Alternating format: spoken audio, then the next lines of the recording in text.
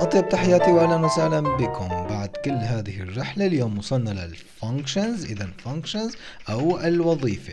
شو هي الوظيفة؟ باختصار الوظيفة هي مجموعة من التعليمات وهذه التعليمات لا تنفذ إلا حسب الطلب. يعني نقوم بتخزين التعليمات لحين طلبها.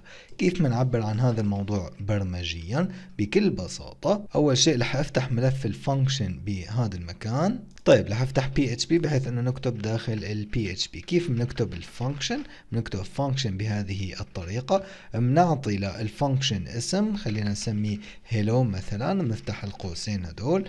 وهدول القوسين شفتوا هذا الشكل مسبقا؟ شفناه إذا بتتذكروا بال if لما نحن كتبنا ال if بعدين فتحنا القوسين العاديين والقوسين المعوجين. هذا الشكل دائما عم نشوفه بال function بال for لاحقا لما ناخذ ال for كمان عم تاخذ ال for نفس الشكل. اذا هذا شكل برمجي بنحفظه دائما. طيب. نرجع لل function لاحظوا عندي هون hello وهذه ال hello رح تاخذ مجموعة من التعليمات. حاليا فقط رح نعطي تعليمة واحدة رح نقول له hello world اطبع hello world وطبعا هذه string بالنهاية بنعطي فاصلة منقوطة. رح أعمل save وتحديث حاليا. نحن نلاحظ ما ظهر شيء. ليش؟ تذكروا تعريف ال function هو مجموعة من التعليمات التي لا تنفذ إلا حين استدعاؤها. يعني نحن هم قمنا بتخزين التعليمات ولكن لم نستدعيها بعد. كيف بنستدعي المعلومة؟ نستدعي فقط اسم ال function. نكتب hello وما بننسى نحط هذول القوسين وحاليا صار عندنا function. لما رح بعمل save وتحديث لاحظوا تمت طباعة هون طيب إذا بنعمل أي شيء تاني لو بعرف variable مثلا رح أسميه user وهذا ال variable أعطيه قيمة ابتدائية صفر أو خليني أعطيه قيمة نور فرضا وهون رح أقول له hello وأحذف هذه وأعطيه نقطة. بعدين user رح أعمل save تحديث ولاحظوا أعطاني hello نور. اذا لاحظوا عم بكتب أكثر من سطر برمجي. بإمكاني طبعا داخل ال function كمان أعطي if و for وأي نوع من التعليمات. لاحظوا إذا بكتب حاليا ال user يساوي نور بالأعلى.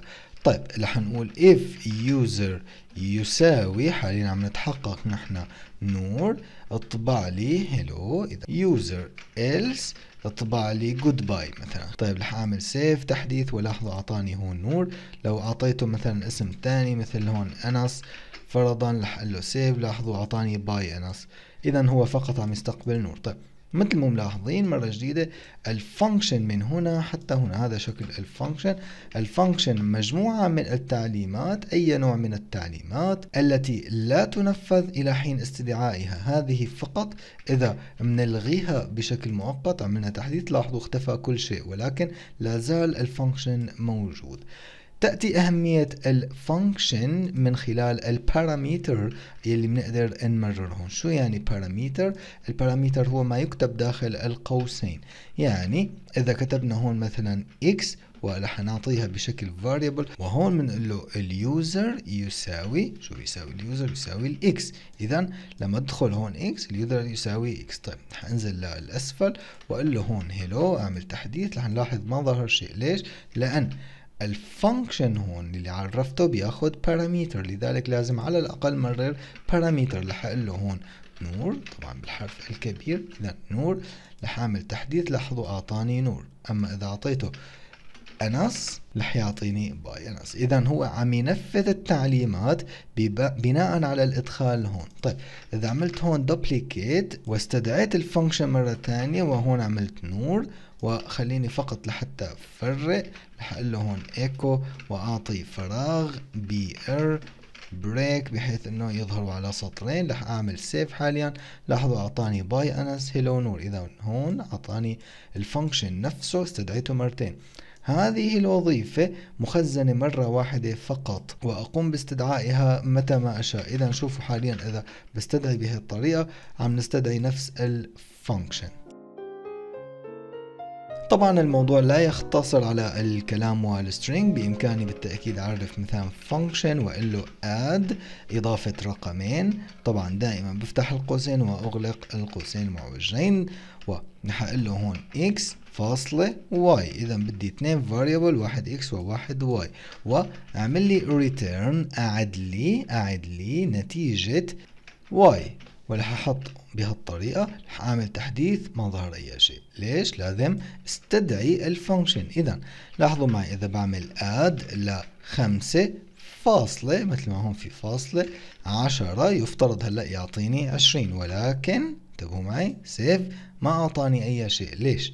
لأن في هون عندي تعليمة return يعني أنا عم أرجع قيمة ال x وال y وخزنها بال function ولكن لازم أعمل ايكو لازم إني أطبع هذه التعليمة. حاليا أعطاني 15 إذا بحط هون 15 مثلا رح أعمل تحديث أعطاني 25 وبإمكاني طبعا أعطي قدر ما أريد. إذا هون بعطي مثلا 20 هون بعطي 30 وهون 25 إذا بعمل save لاحظوا حاليا الأرقام. طبعا هن كل رقمين على سطر. وهذه هي بكل بساطة فكرة ال function بسيطة جدا ولكن استخدامها واسع.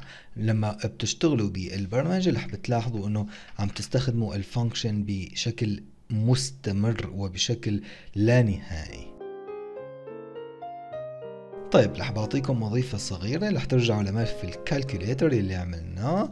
رح تلاقوه موجود عندكم بصندوق الوصف. وبدي تشوفوا هذا التكرار يلي عم يصير هون.